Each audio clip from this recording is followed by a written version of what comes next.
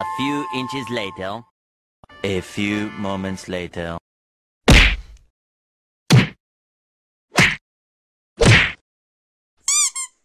One eternity later. Eventually.